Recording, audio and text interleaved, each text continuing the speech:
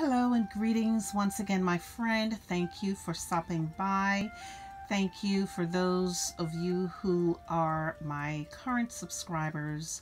I appreciate you subscribing to my channel and also stopping by. I also want to want to welcome and thank those who have just uh, run across this channel for the very first time. Thank you also for stopping by. Please, guys, don't forget at the end of the video to subscribe if you have not yet done so. And also uh, hit the like button, share the video with someone that you think this video could be a blessing to. And please don't forget to leave a comment. I would really appreciate it. Now, today I want to go through the book of Haggai.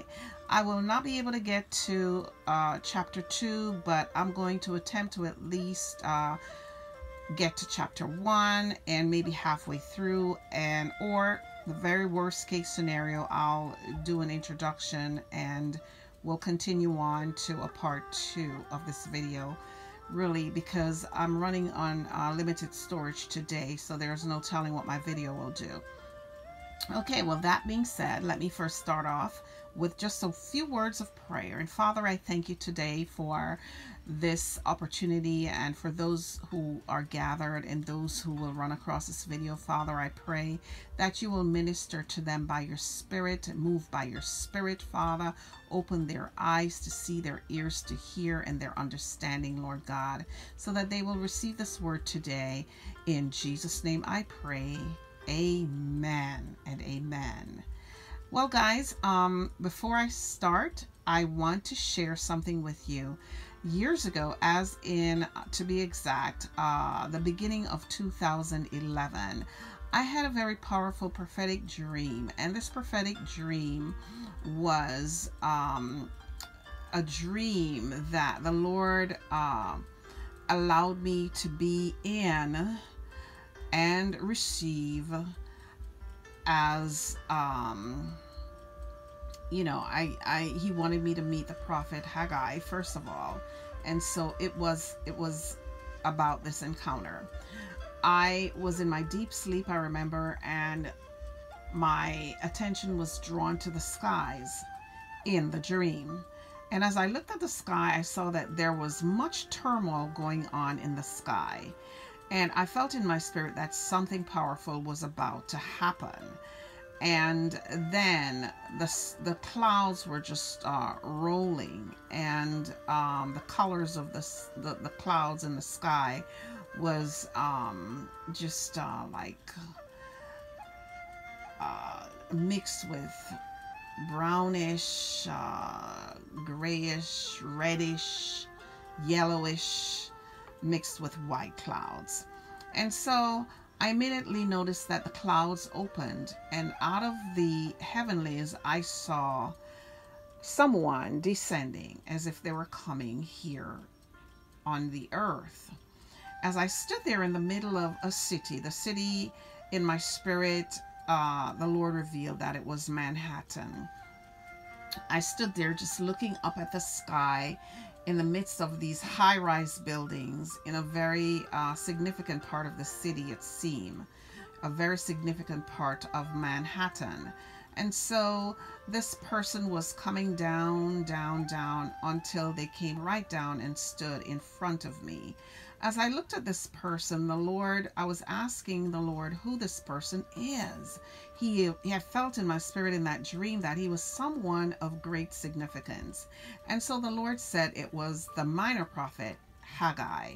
And so I said, wow, you know, you actually sent Haggai to, to, to speak with me, to give me a message. You sent Haggai so that I could meet him. It was really, that's, that's really how I was feeling in uh, this very powerful and profound dream, my friend. And so uh, Haggai uh, began to behave as if he was commu- trying to communicate something to me. He, um, first of all, as I looked at him, let me just describe what he looked like. Guys, on his feet were sandals. They were brown in color. It seems like they were leather sandals.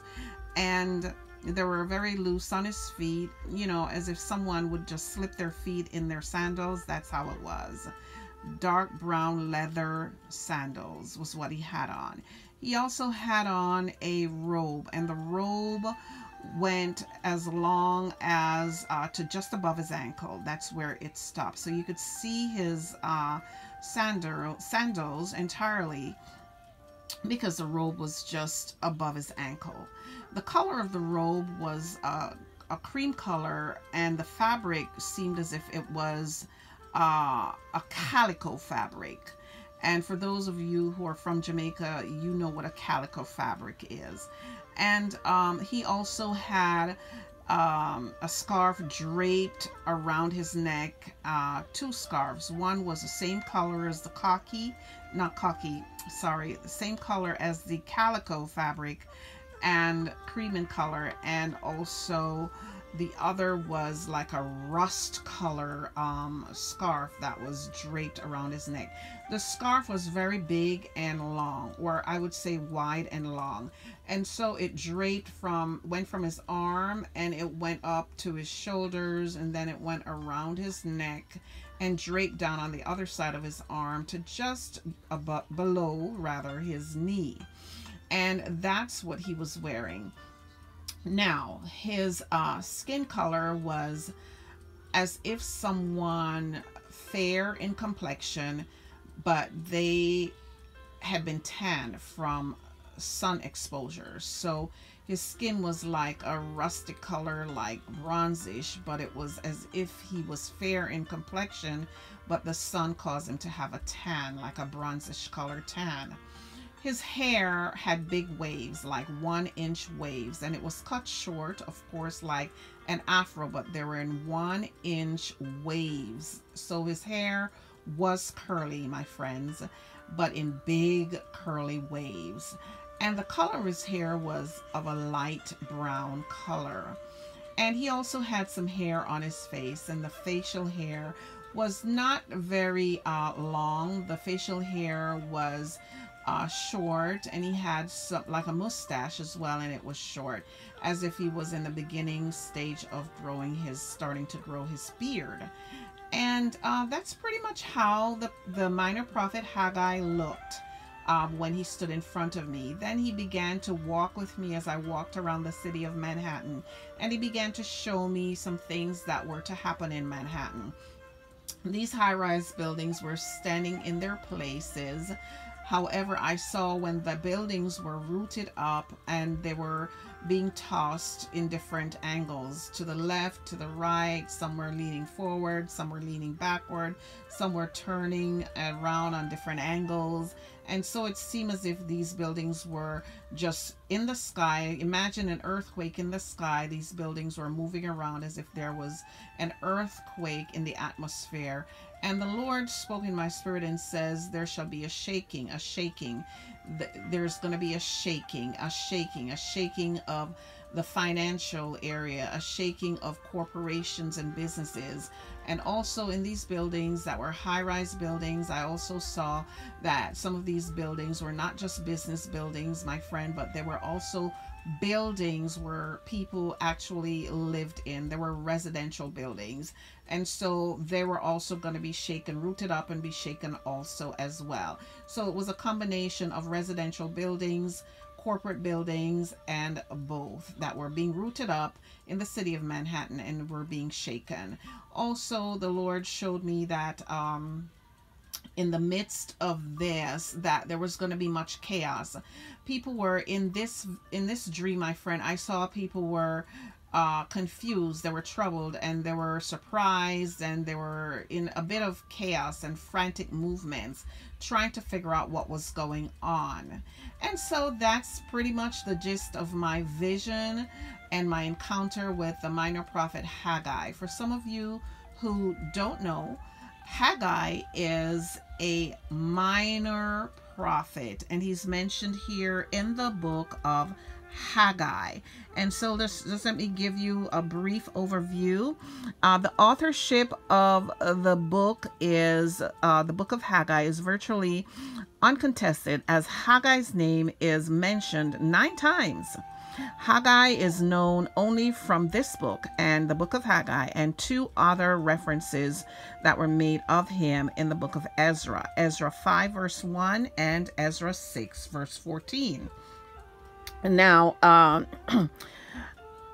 Haggai uh, returned from Babylon guys. Haggai returned from Babylon with a remnant and may well have been one of the few people who could remember the former temple before its destruction, guys. And so Haggai was, therefore, he was instrumental. He was very instrumental in the rebuilding of the temple.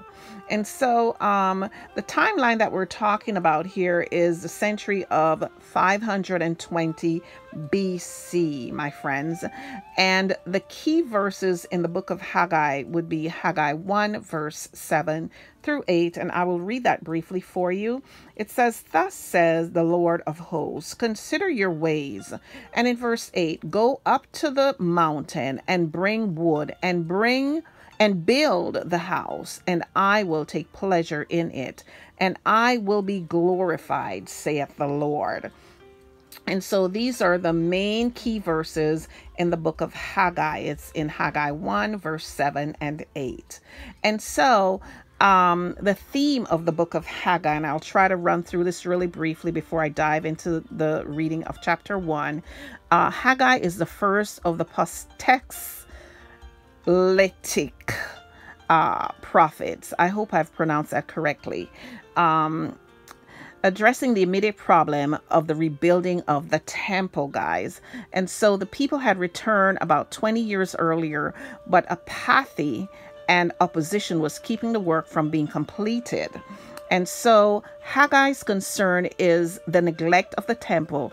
It's a symptom of bigger problem. And so God had uh, has dropped out of the Israelite sight as a priority and the people are more concerned now with building their materialistic lifestyles than they were with their relationship with God. And is that not very true with what we have going on in today's world, my friend? And on this note, I'm going to stop here, and this will be my part one, and we'll be continuing on with part two shortly.